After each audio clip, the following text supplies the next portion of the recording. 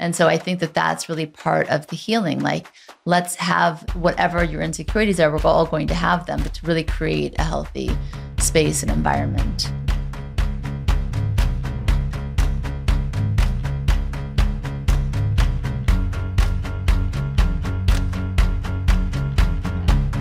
Welcome to Spiritually Hungry. We are so excited to have Jordan Younger with us here today. We've been um, together on podcasts before. We've been guests on yours, and and mm-hmm. so we're mm-hmm. so happy to welcome you on ours. There's so much to talk about, and I was also reading your book, Breaking Vegan. Um, Whoa! And there are so many. You guys should check it out. There's so many similarities that I didn't realize that we had actually, because when we it's interesting. I think the conversations we've had until now have been really about where we are today. And so mm-hmm. I hadn't really known about your past, and mine didn't come up that much either. But something we do have in common um, I had anorexia and you had orthorexia, mm-hmm. which a lot of people don't know about. And I kind of discovered that a few years ago. Um, and as I understand it, Dr. Steven Bratman, mm-hmm. he coined that in the 1990s, but I didn't discover it till a few years ago. And I'm like, there's so many people I know that have this condition. So basically, it's different than anorexia because anorexia is more about you know you, you don't see yourself as you really are mm-hmm. you um, think you're fat when you're you know emaciated among other things i think some of the similarities is that it's a control issue is what it seems like to me but orthorexia is kind of an obsession correct me if i'm wrong um, with eating healthy foods and only putting healthy things in your body to the point where you could even become malnourished. Mm-hmm. Is that right? Correct. Mm-hmm. So you suffered from both or just orthorexia? Just orthorexia. So we're taking it all the way back. This I wrote this book in 2014. So I was actually living in New York and we were wow. just talking about New York and right. he said, are, are, you familiar with the city?" And I was living in the West Village, going to school and starting my blog and having orthorexia and just going through the whole, going through all the motions. Because of, you were the blonde vegan, right? I at the was, time, and that was your I blog, mm-hmm. right? And now you're the balanced blonde. So we're going to talk exactly. about that transformation. Yeah. Um, when did you realize that it had become a lifestyle, I guess a vegan lifestyle, a healthy lifestyle, uh-huh. to something that was taking a hold over you? Yeah. So I have learned so much in the last 10 years since I wrote this book. And I'm so happy now to be able to look back and talk about it in a different way because I wrote that book and I'm so happy that you have it here today. I haven't had the chance to talk about it with people in forever because um, it's been a while. But I have learned a lot where I was so I was so young. I was 22 mm-hmm. in 2014. I was a new blogger. I had so much popularity for lack of a better word because there were not a lot of bloggers back then, especially in food. Mm-hmm. It was a vegan blog and suddenly the blonde vegan is no longer vegan and this broke the internet and I was on CNN and Good Morning America and Australian news shows like it was such a whirlwind. And I had no concept at the time of how that was maybe a little detrimental to become the poster child for orthorexia, which most people didn't know what that was. And to this day, I'm pretty sure if you Google orthorexia, there's a picture of me. So, really? I mean, you guys can try and tell me I haven't tried in a long time. Looking at the audience, you guys can try. and I don't love that, you know, now. I think at the time I was so caught up and just wanting to speak about what I was going through. And now looking back, I also know I had Lyme disease and oh. was seeking to feel better through food and through what I was putting in my body. When did you have, when did you first I mean, I guess so you don't really know. I was diagnosed with Lyme in 2018, mm. but I had symptoms starting as a teenager. Mm. So all the way back wow. to probably 2005. Um, so you started to try to find a way to feel better. Yeah. And that probably led you to become a vegan. So I had been living in this very inflamed body. Exactly. And I found this way of living that was anti inflammatory and felt amazing. And I was making turmeric smoothies and spirulina juices back before that was a thing. now that's a thing. Yeah. Everybody listening is like, yeah, we know what that is. Well, Back I think then- Starbucks might even have a turmeric drink at this Probably. point. But yeah. Back then, I was in my 300 square foot apartment in the West Village, putting all these superfood powders into my blender and blogging it. And then um, And it was making you feel better. it, for a long time, so for two years, I mean, it felt like a long time when I was 22. For two years, felt incredible, felt healthy and energized, anti-inflammatory. I lost a lot of weight. I was just feeling on top of the world. And then I created a brand around it. And so of course, it became the lifestyle and the identity and the brand and I was so young and I was so caught up and sometime in mid 2014 I had a friend in New York who came to me and she said, and she was also a blogger, a food blogger. She said, I, I'm, I think I'm anorexic and I think I have orthorexia. And Your I friend have said my that. friend Uh huh. about herself. Uh huh. And she said, I'm, t- I'm meeting with this therapist and nutritionist. And suddenly I'm just realizing all these things about myself. And just through that conversation with her, I felt like, oh, I Mm. might have kind of an obsession here too, especially because I have an obsessive personality. Mhm. So I started meeting with the same therapist and the same nutritionist. Found out that I probably had orthorexia and immediately started blogging about it and immediately was on the news and then writing a book about it. Let But me it ask was- you: Is it because the media they wanted to say, "Oh wait, look, this vegan lifestyle is not healthy"? Mhm. It wasn't so much even about ortho. I mean, it was just a way to bash something that was Yes, popular or I have trending. a lot of thoughts about this Because- now, and right. I'm trying to be nice about it the way that I'm speaking. But it's like the media yeah.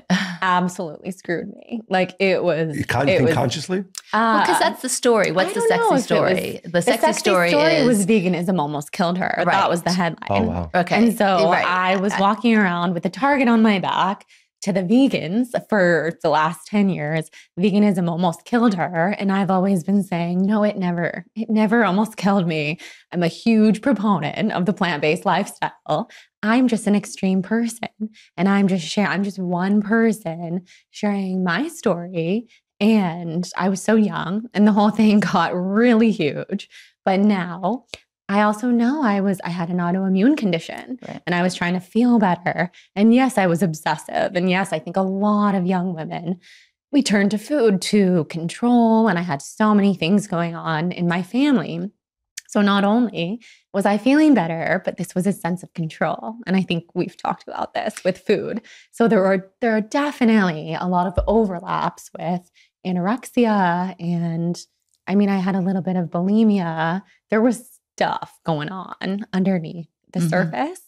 Um Well, I read in your book also, there were a few points that stood out to me. You talked about how, um, well, it's interesting. It seemed like whenever you felt pain or out of control, mostly about romantic relationships, the go to was food Mhm. restriction, which I understand that. Um, whenever I had felt stressed, I'd overexercise and undereat, no question. It was like my, that was the formula to make me feel better. But we had another similarity in that um, you talk about it's the cutest way you wrote about it that you were in your was it your Gap bathing suit oh yeah. and you were nine I Mhm. think and um, you were swimming with your cousins because I was that kind of kid I was like a tomboy out and like swimming all day long I lived in New Orleans like with my cousin and um, so you get out of the pool and you're feeling like all great you know you've got your new sweet your new swimsuit on yes. and you overhear your mom and your older sister talking and you, you hear your older sister say no i don't think that she's gained weight. And then you you suddenly realized it was about you and you felt insecure and you started to go listen closer and then you didn't really feel good about yourself in that same way. Hmm um, but i had a story with my older sister um, and it was the beginning and you call it an awareness. Uh, I, I think that's really what it is. It was the first time i actually paused and thought oh my God, should I be concerned with how I look? It was the first time I saw myself externally as other people see me Exactly. or might see me. It hadn't been a thought before then. Um, but I was with my sister, who I adored. She's four and a half years older than I am. And um, I think I kind of worshiped her, you know, like she was Mhm. my older sister. And I just thought she was the coolest thing. And she asked me to go to dinner one night. And I was like, wow, she wants to be alone with me, go to a restaurant. So we went, um, just the two of us. And I was so elated. And remember, we walked home from the restaurant. And I was still very tomboyish. I had not gone through puberty yet. I didn't have curves yet. So when I got closer to my house, I started to do cartwheels and skip and you know as you just Yeah, like spring into cute. joy. Mhm. And then when we got to the front door, I'm waiting for her to come. She has the keys and she's like, "Oh, I can see it's happening." And I was like, "What?" And she said, that "I can see. I see the cellulite starting the back of your thighs." now Oh, I can tell you today that was impossible because again, I was Mhm. like Yeah. tomboyish. But then I was I didn't even know what cellulite was, but I knew I didn't want it. Yeah. so I went into the bathroom and I'm like, "What's going on?" It was the beginning of a fear for me that had Totally. developed. But anyway, that was like it was interesting to see the commonalities. I and was the That it's is crazy. You know, interesting. it's crazy that par- parents, siblings do this. I mean, I it still Mhm. happens today. Oh, I mean, often. I mean, that's kind of why I wanted to talk about it today, too, because yeah. we spend a lot of time mentoring um, young adults and teenagers. And I just, I heard a story um, just two weeks ago about a girl who has gained some weight and her father, I- I'm sure he does not mean to do this, but he's fat shaming her. Like he makes her get on the scale in front of her siblings and to look. And, you know, I, crazy. I sure don't. good. Mm, No, I mean, I think a lot of parents don't don't know how to talk about it and don't know how to bring it up. Do you bring it up? I think in our cases, there was nothing to have even brought Brought up. up, I was yeah. not an overweight child. I and I can remember this so clearly. And because I wrote this book so long ago, you're bringing back a memory that I'm so grateful to talk about. But yeah, I, I can still remember getting out of the swimming pool and he and my sister is about 20 years older than me. So this is like two adults Right. talking. And I just hear her say to my mom, No, I don't, she doesn't look chubby to me. And I'm looking around, I'm like, Who's she? I'm the only girl out here. Um, and I just remember thinking, my mom would say that about me. My mom looks at me that way. Like, and I just kind of realized, and I was so young, but something must be wrong, or I must have gained some weight. It's just so hard when you're that young because you do not see yourself externally. And I had never had a thought like that in my life. And my mom now doesn't remember having had that I'm sure. conversation. and she she's read the book, of course. Oh, and- really? What was her reaction? Um, what was her reaction? well, she said, I don't remember that at all. And it doesn't sound like something I would do, but I'm sorry. And I mean, she's always willing to apologize and and own what she didn't know at the time.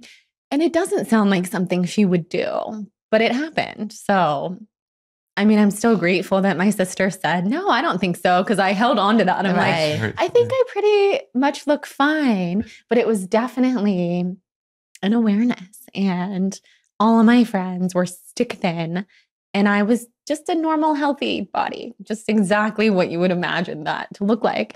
And so I did start to compare myself and think about myself in those ways. It's so interesting, Mm-hmm. right? Because of course that wasn't your mother's intention. It probably was her own fear or feelings about how maybe she felt when she was Mhm. a kid or how she wants her children to look or whatever. We're all complicated and, Mhm, and it's totally. usually with not a bad intention. But I think so often um, you know, we don't we don't realize the power of our words, our opinions, Mhm. especially to the people that we love. Um, so I want to go back to that so that point where then you decide not to be a vegan anymore. And then did you start to realize that you needed to get help for Lyme? How did so how did that how, how did you become healthy then through that Mhm. process? Yeah, it was a journey. So, 2014, I started seeing the therapist in New York. And that was a complicated time too, because I actually look back to those conversations with that therapist and it was not a good situation. Mhm. I think I was being fed a lot of projected information about what she thought I was going through, projected information about my family. And it was so confusing. And I had been in therapy since I was five. So it wasn't the Wow. first interaction with a therapist, Why but it was early? um so when I was 5, my parents were worried because I was just pretty obsessive. So they thought maybe did she have OCD or did she have I mean like a sensory disorder, which back then I don't think there was a word for that, but I wanted to wear my clothes inside out and I was sensitive to everything, sensitive to sound and to light and um That's so interesting. they had never met a person like this or had a child like this and they were concerned um, the therapist said she's totally normal she has a lot of emotions she feels comfortable to express them to you this is really positive and thankfully that was That was a good, good one, yes. and she was a therapist that I saw kind of off and on all until after high school. Yeah, so I got help for the orthorexia through various ways, like therapy, nutritionist. I moved back to LA and I started seeing a functional medicine doctor. Also, way early in terms of functional medicine. Everybody has a functional medicine Right, doctor right. now. Back then, it was amazing that there's a doctor who's willing to do blood work and test your stool and talk about parasites and gut dysbiosis and candida. Mhm. And I had all of it. And Mm. so it really helped me to see wow. I I was not healthy, even though I looked healthy and all these things. And I was just trying to feel better through food. And I just gave myself a lot of grace. I wasn't trying to deprive myself. I wasn't trying to cut out all the foods that are not like perfectly clean vegan, but that's what happened. And I think just giving yourself forgiveness. I don't know if you feel this way about your journey.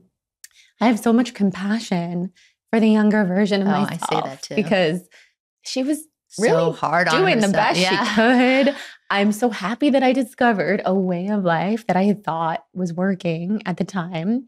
And it was. I just took it too far for too long. I think maybe sometimes it's positive to do a vegan cleanse or like these smoothie cleanses, especially if you have candida and all the stuff that I had.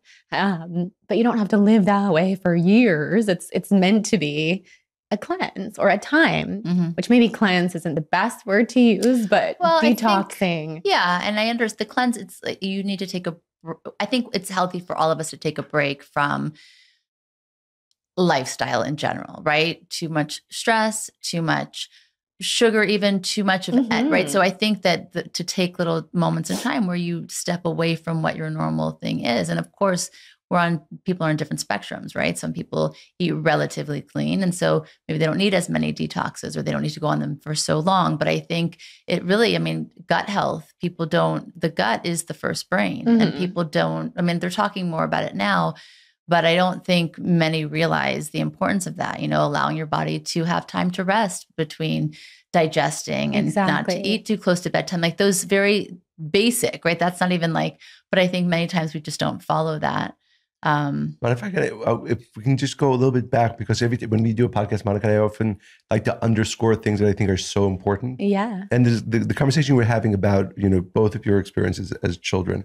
And I'm thinking, you know, I know now you're pregnant with your second child. And and as we think about our kids as as they were growing up and as they continue to grow up, I think it's such an important message for parents and siblings, but for parents that that, you know, one word, right, can can have impact both positive but unfortunately negative for the rest of that of that child's life. Absolutely. And I don't think, you know, I don't think there's there's definitely not enough awareness around enough parents about that. We've talked about on our podcast about conscious parenting, and I it's one of the topics I wanted to actually talk to you about is um, spirituality and and if you have a spiritual practice and how you bring that into parenting or even with your husband who's lovely we've met him but um, as a couple and I think that you know when I um, the only kind of residue really with anorexia for me is body dysmorphia.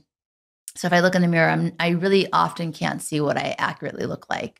If I really care, like I'm wearing a dress to a wedding, I might take a picture in the mirror and then I'll look at the picture and I can see the picture. Oh, interesting. So it's just like those kinds of, you know, it's the residue, it's what's left over. But I was very Mhm. aware.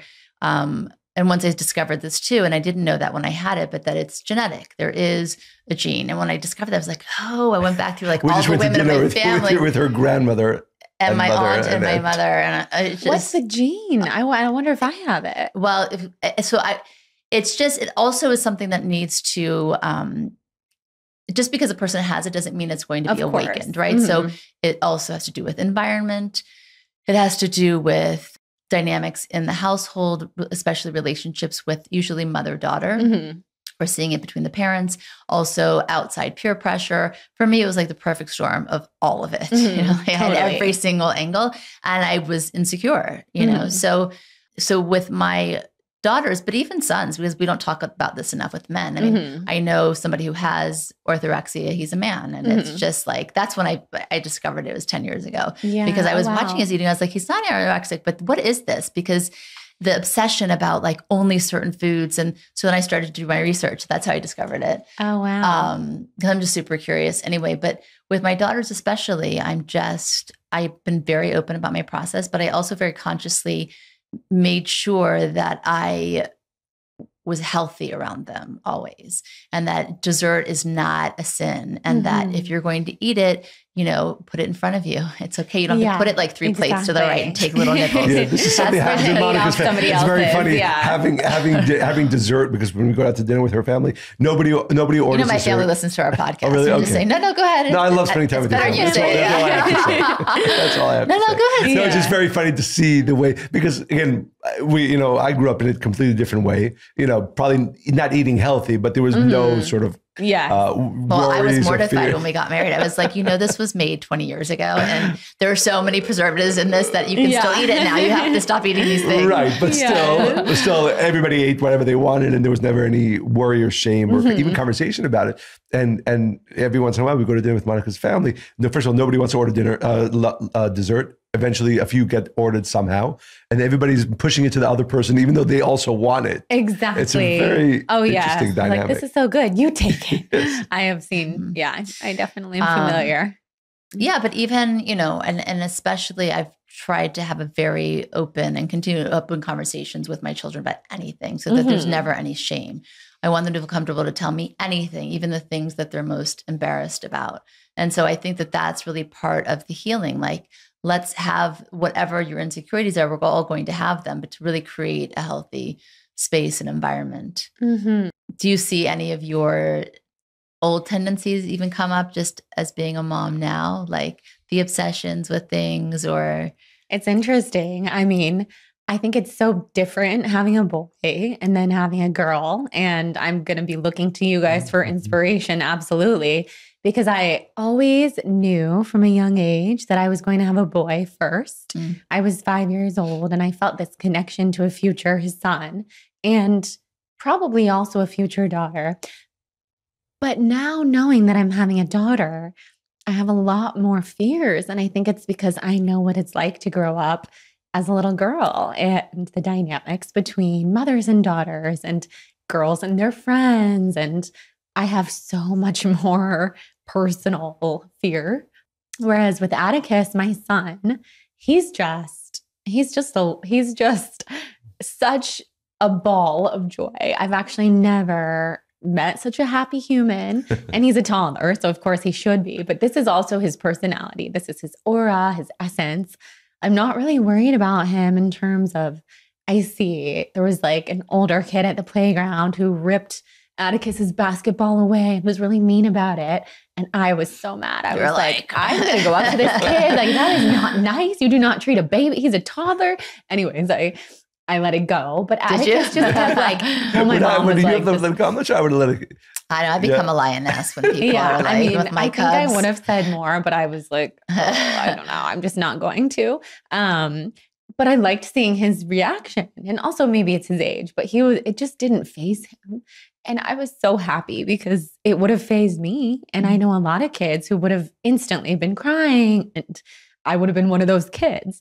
Um, so I think with him, I don't have a lot of stuff coming up around myself as a child, if that makes sense. Mhm. Um, yet he's only two and not even two and a half, so we'll see. Um, I do think with a daughter, it's going to be different, and I'm trying to mentally prepare, emotionally prepare, because, like you said, I want them to come to me with anything and have conversations that I didn't have growing up.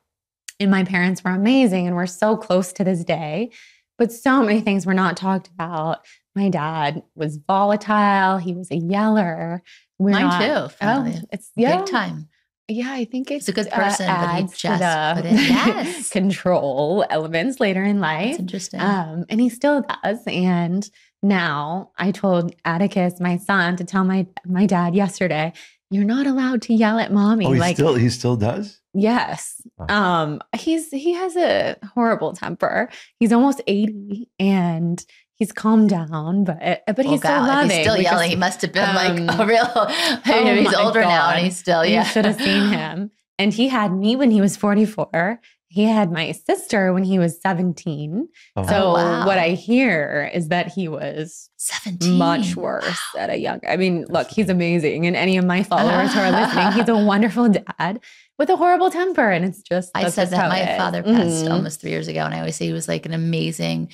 He taught me love, like beautiful person, but he just couldn't handle stress at all. Exactly. And when he felt stressed, he just this is that's what came out. And I think just generally generationally, look, we have so much information and we have so much at our fingertips in terms of access to tools and meditation. Like I think in their time, it was just like be successful, provide for your family. There wasn't a lot of time for this kind of but but I, conversation. Exactly. but I think it's an important point again, and we do speak about this, but that parents love their kids, right? And there's no, I'm sure your dad definitely loved you. And when, but they, we're not always aware that how we behave, forget it, we spoke before about certain things that we should not say to our kids, but just the way we behave, the energy we have in the house has a long term impact Mhm. on our children and their happiness and their lives. So I hope is that any any parent listening and, and who has, you know, whether because of stress, you know, really says, well, I really love my kids. So even though maybe my natural reaction to one thing or another might be to yell, to raise my voice, but but how much you, you don't you love your kids more than than that reactive behavior? Mhm. and to really understand that it actually does have a long-term effect and you know and that's why when we try with our kids from when they're younger and even till now when you're around them you want the environment in the house you want the energy in the house to be a calm one to be a happy one and I, again i don't think there's enough aware enough awareness amongst mo- enough parents about how much our behavior not Oh, even our yeah. direct interaction with our children but our behavior in the home has a direct impact not only in on their lives now but for the rest of their lives It does. It does. And I've tried to share that with my dad. He kind of gets it. So he tries to understand. Funny, we were talking about human design a little while ago. My dad's a reflector and I'm a reflector. And that that's the 1% of the population. So we are That's funny. mirrors to each other Mhm. and we butt heads. We're very similar and we're very different. And I'm very confronting to him because every fear he's ever had about finances and stress, I'm the opposite way. And he just can't handle it. Um, but he loves He it. wants you to he wants you to Um, stress, or He wishes probably that I would stress more because it's just He thinks you'll take it's it like seriously. the only That's thing like- he knows how to do, really. Like, but he's also the person who could have more money than anyone and say that he has nothing. So, I mean, it's like we could do a whole analysis. It's a whole thing. Um, I spoke to him and many times, and I've done everything to try to heal um, from the inside out, from meditation to plant medicine ceremonies to spirituality, faith, everything. And in plant medicine specifically, I have had these major downloads of ancestral remembrances and my paternal lineage coming through me and showing me, oh, this is so real. And we know it's real and we're talking about it Mhm. it lives in our DNA. And I've been on journeys in that setting with my dad's parents, and they've passed many years ago, and how they've shown me how all of my dad's children carry traits that come from long, long, long ago, and they come out differently in all of us. And when I really think about it and I reflect, that behavior at home when I was a kid, it influenced everything. And i would love to know who i would be if if they're just just interestingly because i think nothing happens um uh, there's no mistakes and no coincidences. That i chose this life. I chose him as my father and i think he's been my father in many many lives.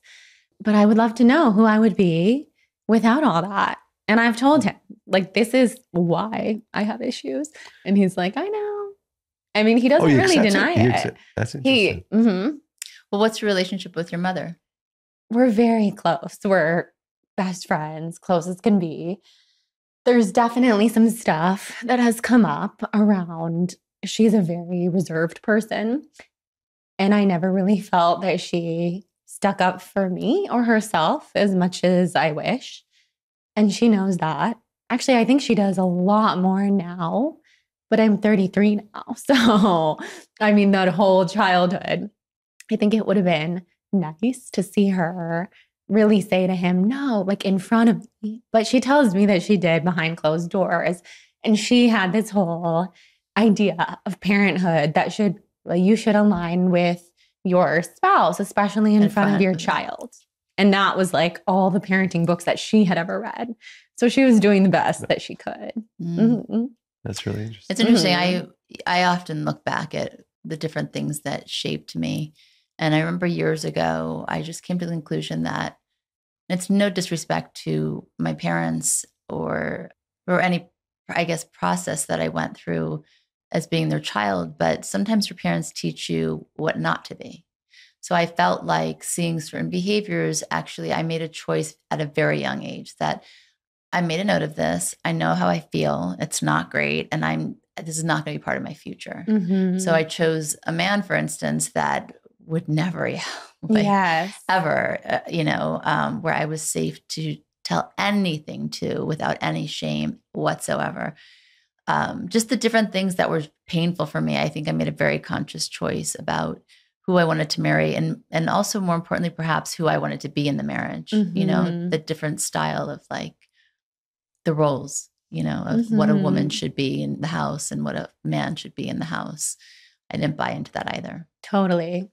I was gonna, do you think you your choice of husband was influenced? I just want to say, you, like, you are super calm. Like your energy, whenever I'm around you, I just feel just like zen. And I and you're saying, I wonder who I would be if if your father, you know, if my father. What? But I actually think that this this is who you are because of yeah. So I think a good way to look that's at it. I, that's mm-hmm. why I'm sharing mm-hmm. my story because I feel like I don't know if you're aware of that, but I think that you somewhere made a decision long ago mm-hmm. that you were mm-hmm. going to present yourself and live very differently than your father Absolutely. did. So I I wouldn't say who would I be if not. I'd be like, well, this is you know. Mm-hmm. Yeah. Just my take. I love that way of looking at it. And it's true. I did decide that I'm going to be so different than him. I remember being 11 years old, looking in the mirror to myself, talking to myself, calling in myself at an older age. I was always doing these spiritually minded things, didn't know what I was doing, saying, Come protect me, older self, and just tell me how different I'm going to be from mm-hmm. him because I'm never going to yell at my kids. I'm never going to live in a home with a husband who yells. I'm just never going to make these choices. And even my mom, seeing her pretty much go silent in compared to whenever he would yell. That's why I always stood up for myself. And my dad says I'm the youngest of four kids. I was the first kid and the only kid who wasn't afraid of him. And he did not know what to do. and mm. it's funny to talk to him now because he's like, Yeah, I think looking back, it's funny because you were always right. Everything you said was always right. And he just couldn't express it in the moment because I was like a five year old telling him, mm. You're crazy. You've lost your temper. like, you're not even making sense. And then it would prompt him to think, Oh my God, she's right. But I can't show that. Um, so you probably had to come yeah. with more force. So I was just, I was always defending myself to him. And yeah, and then I chose a partner who is incredibly calm. You guys have met Jonathan. Yeah. I mean, he's he seems funny. Uh, he's and hilarious, like and, and he's he doesn't yell. I mean, after we had kids and we got a little sleep deprived and things were crazy, he yelled for the first time a couple times. But he knows now. Sorry, but that activates something in my nervous system that you just can't do with me. It's very dangerous for me. And I still have a lot of work to do around it, but it's not, we can't. We can't yell. We can't show our kids yelling. So important to me.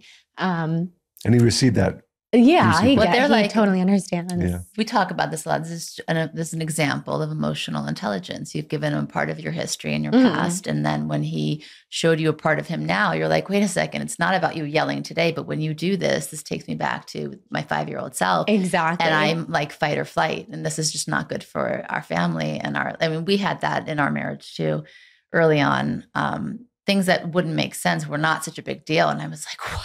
You know, it was not yes. about what he did in that moment. It was about where it took me to. I mean, there were a few triggers, but um, I remember when he started to say things like, "Oh, you know, you should have done blah blah blah," or "You you really should," or "You could have," and I was like, "I'm not even. I'm not going to listen to anything you're like that." Because Yeah. my father was it was all, and that's part of the shame, right? You should have done this, you should have done that. But then, of course, when I explained to him why that just shuts me down, and um, I will never listen. if you continue to- then you know because he's a, a thoughtful person and we're about transformation and change then obviously he he met me with that but Yeah. Mhm. And and something you said it also reminded me of something we again we we try to do in our at our home is that you know certainly in the previous generation there was this idea of you know you have to be strong in front of your kids you don't apologize and I remember a few times and it's it's been very powerful for me with our kids where it wasn't you know whe- whether we say something or behave in a certain way where and then they come to us and say you know this hurt me in this way or you know you raise your voice and I don't think you should have and and it's not always easy but I'm always happy after apologizing for something I shouldn't have done or something that I Mhm. should have done differently. And again, I think you know, as we talk to to, to our listeners, to our to parents out there, of course, doesn't mean you apologize all the time, and of course, often, hopefully, you'll be right and the child will be wrong. But when it's the right time, I think it brings a tremendous amount of both closeness and and respect. When kids see when your kids see that when you, you think you did something wrong or behaved in a way that you shouldn't have towards them, you're willing to apologize. It doesn't make it doesn't make you look weak. It actually makes you look much stronger to them. It does. Well, this is yeah, the it's only time brave we- to apologize. It's hard. It's a hard thing to do, especially for parents to children. And I can count on one hand the times that my dad has apologized to me, and they've all been within recent years because he finally gets it. And I, I had this one little um, Instagram story go kind of viral because this was a couple months ago. We had gotten into a bit of a um, argument, big argument, because my son he spends a lot of time with my parents. They they live for him. He lives for them. It's such They a live special. now in LA. They live down here. They split their time, Ah. so they're here half the time, if not more, and they live in our building when they're here. Oh, wow. So he gets to go up there and spend so much time that's with nice them though. and it's the best. Um, and I am very, very, very, very intense about not using chemical cleaning products. Um, I'm all non toxic. I've had so many health issues. We're in Mary Ruth's home. Like she's like this as well. Like that's kind of how I am. Um, and my dad, they've, my parents have pretty much transitioned to mostly natural products, but he had this just the worst, like old school Dawn in his uh, in the kitchen. And I saw that he was cleaning all of my son's um, plates and bowls and uh, spoons with it. And I was like, what are you doing? And I, at first, I try to stay calm. I know how to communicate with my dad to get a good result. And he immediately loses loses his temper, and he's like, "This is my house, and I'm going to do things the way that I do it. And if you want our help, and they're so helpful to us, like we're going to do it our way, and blah Oh. blah. I would never do anything that would be bad for his health. And look how great we all turned out. We've been using this forever. I'm like, oh my God. So I absolutely lost it. I'm pregnant. I had a hormonal breakdown. I was just like, I'm taking my son. We're leaving. We're not, we're going downstairs. I'm not talking to you, looking at you. You yelled at me in front of my child. Like this whole thing. And a few hours later, my dad texted me an apology. I think it's easier for him to text than to maybe say it out loud. And it was this whole, I'm very sorry. I never should have done that. I threw away the dawn, um, which for him is a huge deal. And um, would never do anything to hurt Atticus's health. And I'm very sorry. It was very wrong of me to lose my temper. And I love you. And um, it was so shocking. I posted it to my story and everyone was dying over like by the way i threw away the dawn um because it was just such a cute funny little thing. And i appreciated it. I mean nobody's perfect. Maybe the way that i'm being so open makes him sound extra crazy but it's just like real life dynamics for sure. Mhm. no, a thousand percent Did you Mhm. speak? Did he speak an apology afterwards? or did Yes, you- I yeah. made him. I mean, I'm pretty stern with him. I kind of treat him like I'm in control. Um, I always have been that way my whole life. So I did. I said, thank you for apologizing. And you do have to say it to my face. And I need to know this isn't going to happen again. And especially in front of yours yeah, and I'm not just I'm not just being you know, a brat about the products. Like these are not something I believe in. This is not something that my child uses. This is not good for our health. I have had health issues my whole life. I'm doing things very, very differently. And he's like, I know, I know. And now he totally retracted. So, So you've recovered from Lyme. uh, I believe I have. I haven't done any recent lab work on purpose because I found just kind of knowing that I do have it really influenced the way that I felt every day. Mm. And I feel really good. hmm I feel healthy. I've had two healthy pregnancies, which I was told I would never have. Really, because of the Mhm. Right. They said you might, Mhm. God forbid, be infertile, Mhm. right? Exactly. wow. And there's a whole thing about passing Lyme to children, and you shouldn't have kids, quote unquote. It's very Oh, I hadn't heard that one. controversial Really? Topic. Um, so to really heal as much as possible before you get pregnant, which I did do. And yeah, my son is so healthy Wow. and That's very interesting. has no issues. You know, it reminds me. y- y- Have you heard of Dr. Ellen Langer? I don't think She, so. she she's called. Uh, she's been a, a professor at uh, at Harvard for the past fifty years studying mindfulness, and she's Mhm. called the mother of mindfulness. oh wow. And so Talks all about body mind unity, not just connection, but unity. And um, it's exactly the point you're making, and that whatever you think, you Yes. are. yeah, and it's I believe it. and the, and for instance, because it's interesting you said about the Lyme disease and not wanting to do the test. She uses an example of people um, who are told by the doctors that they're pre-diabetic, Mhm. and I forget the exact measurement, whatever it is. Let's say it's 0.7, and bu- above it, you, a person is told by the doctor they're pre-diabetic. They could be literally marginally below that line, and they're told that She they're goes healthy. into a whole thing with like, what's the difference with one number, right? So 69 Mhm. years old, but then 70 years, like she does this with a, and she ha- does experiments to follow it, to make her point with this, that what's Mhm. really the number. So if you're one below or you're one above, but go ahead. Yeah, but is- but the Mhm. crazy thing is, and this is scientifically proven according to her studies, that the people who were told that they were pre-diabetic developed diabetes at a rate I forget the number, maybe like seven, 70 percent of those people developed diabetes. The people who right below the line, which means they were basically at the same place where those other people were, did not. They developed maybe ten percent of them developed diabetes, and that idea that that how we think, so we are. But and she and this is really her her life's work, but study after study after study, the idea that that how we think about ourselves influences and our health influences it much much more than than medication or Absolutely. I'm such a huge, huge believer because I knew when I was diagnosed with Lyme and I was so sick at that time and I was so grateful to have a diagnosis and a doctor who understood and could help. But I felt awful all the time. And then I did years of healing from 2018 onward and everything, everything one could try from Lyme, from supplements, IVs, antibiotics, ozone, stem cell Wow. therapy, hyperbaric chamber Wow. therapy, plant medicine retreats, working on the spiritual. I went to Bali for a whole summer, like working with healers. I did so much. And I call myself a human guinea pig. And I also enjoy that kind of stuff. So, I mean, I like wellness. I like that kind. I of enjoyed stuff. most of everything you said. yeah, yeah, yeah. I did water fasting, which I don't recommend. You know, water for only water for For how weeks on end how long Um, for how many weeks? for three weeks Wow. with uh, with doctors at a medical facility. I did that four times. Really? I I was covered in hives head to toe From that? before before that, and that took it away. Um, I basically researched anything and everything. Well, you said you wouldn't recommend that. Why? I wouldn't I mean, I recommend it think to of a few most reasons, but- people. um, Because you're well, hungry. okay, especially because of what we've been discussing earlier on. I always kind of make that disclaimer. Um, I recommend it to people who need it. It can shrink tumors. There's incredible research. There's people who are blind who could see again, Really? people who couldn't walk who could walk again. It's very helpful for diabetes, for cancer, for Lyme, but it just has to be the right person.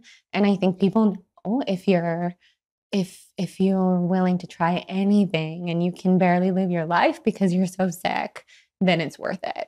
Wow. I just don't recommend it to the average person who's trying to biohack a little bit more health. I think there's way other things to do. And yeah, so I knew that I should be feeling healthier after all these years, and I didn't. And then I finally just worked on the mindset element. Mm.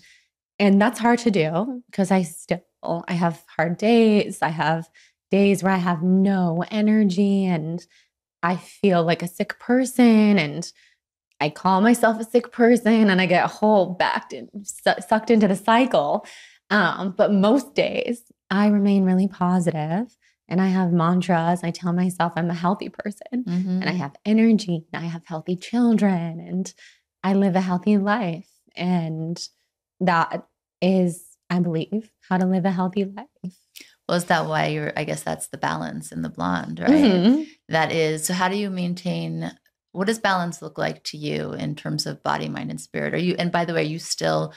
Um, are you an intuitive eater now, or is is there? Because it's interesting. You know, I always teach my children and, and our students like don't get stuck on labels. When you label yourself as something, and you look at all the things that go under that title, you need to be all of those things, Mhm, right? And then that could be good or bad. I mean, even when I had anorexia, I didn't even want to call it that. I was just like, there is dis-ease in my body, not a disease, but Exactly. dis-ease. And I need to figure out what that balance is basically. But even I remember when I was um, a vegetarian most of my life, and then I wasn't, or I was a marathon runner for most of my life, and then I decided I wanted to start dancing because running didn't feel as good anymore. I was like, well, if I'm not that thing, that you know, you say you're a marathoner, right away you think, oh, well, she's disciplined, she's athletic, that's respectful. Like, but so if I'm not that, then what am I, right? So we can get stuck in that kind of thing. So how do you find balance then? Well, first of all, I was a marathon runner too. Really, we have so much in common. That's so funny. And my husband still, he does Ironman. Wow. I don't know if we told you guys that, but he's like disciplined.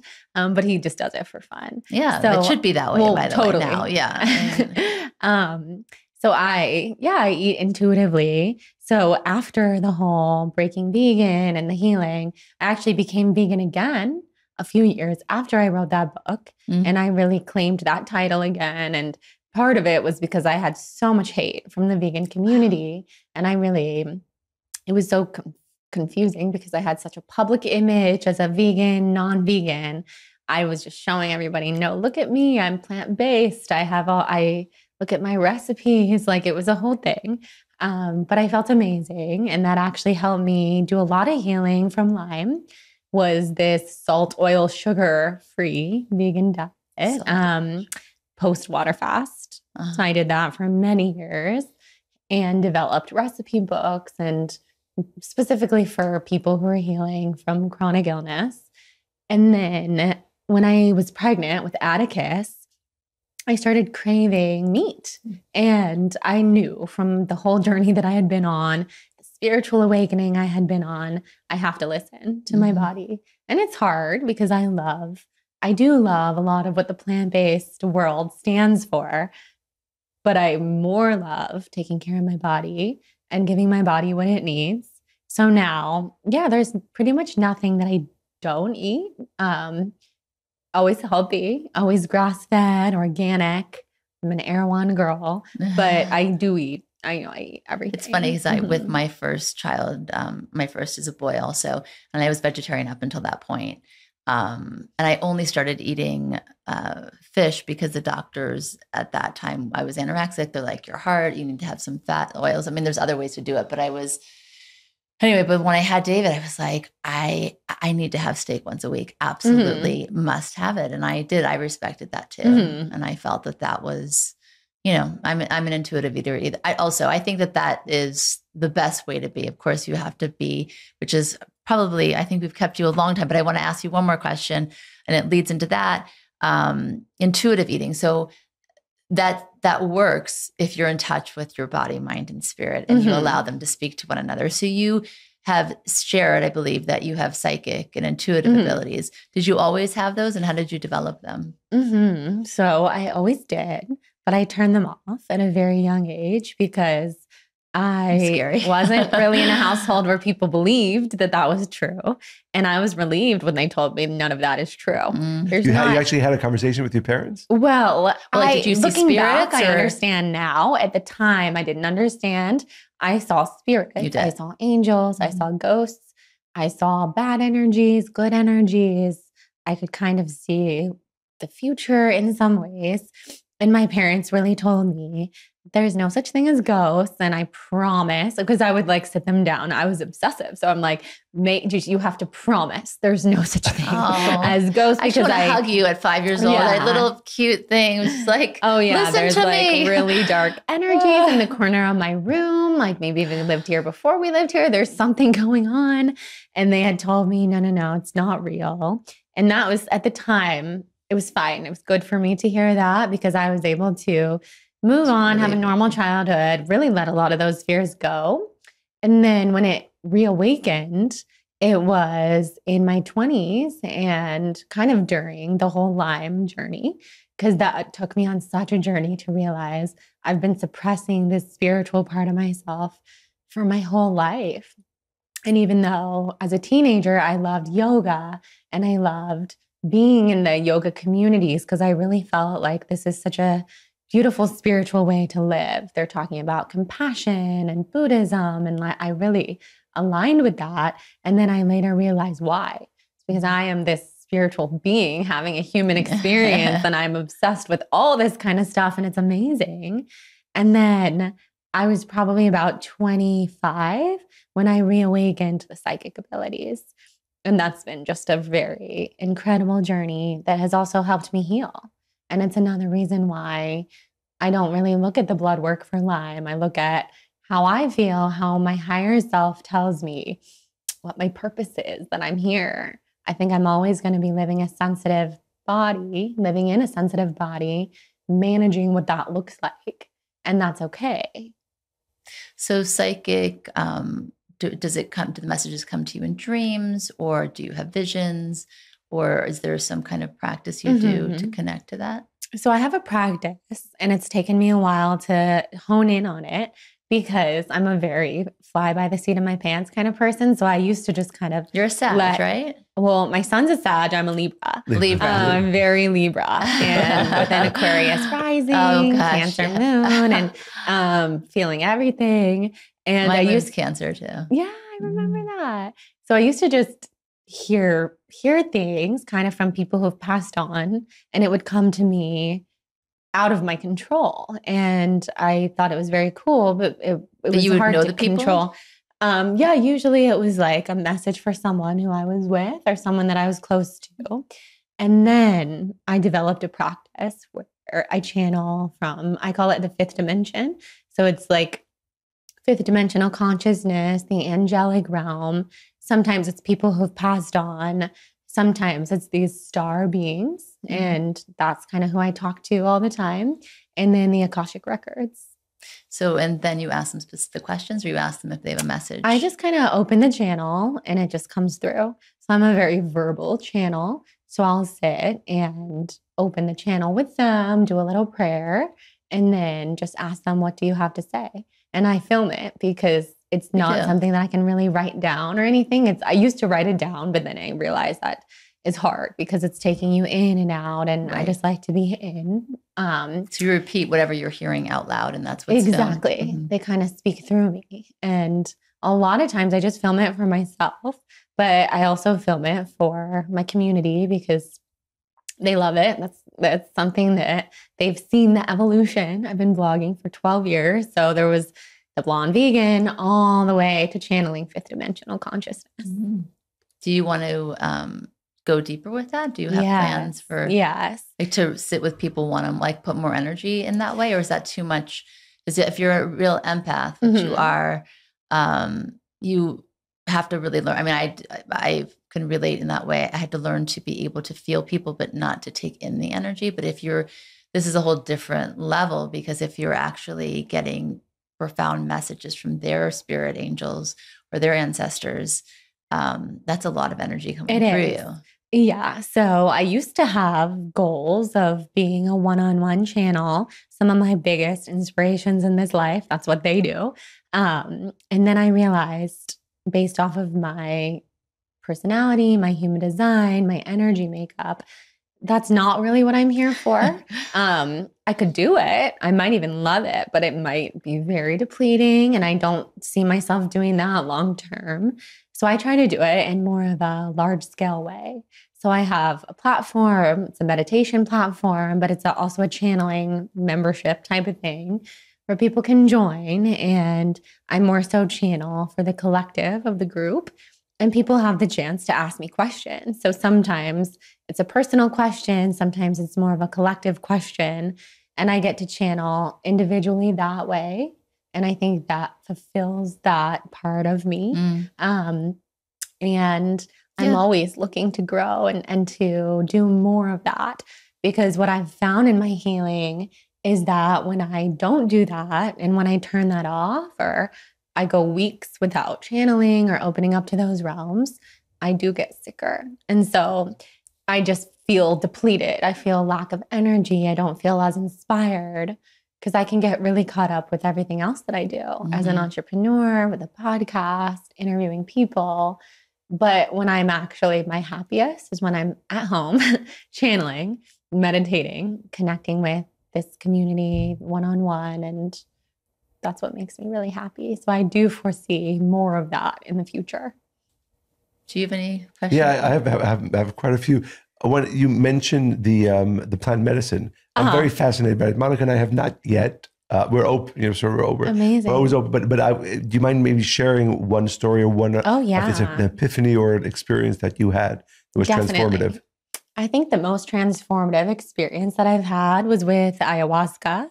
And I love that you're asking me about this now because this morning I told Jonathan, my husband, who you guys know, I'm like, I feel like I had ayahuasca this morning, which not at all, but it can become reawakened in your right, system. I heard that. And I think with the full moon in Libra, all these things that I'm feeling very emotional, it it reawakened some memories. And I had a very emotional morning, but it was so necessary and it was so beautiful. And um, I think really with ayahuasca, I've done it probably about 10 times um, between 2018 and before I had my son, so 20, 2021. And oh my gosh, it reminded me of who I am, why I'm here. I realized, and I always believed in eternal souls, and we've been here many times. I always felt like an old soul. This was confirmation. I was realizing I am. This is why I feel so old because I am. And that's a beautiful thing to embrace and to not feel like I'm. So I'm 33. So many of my friends, they're going out, they're drinking, they're single. That is not my life.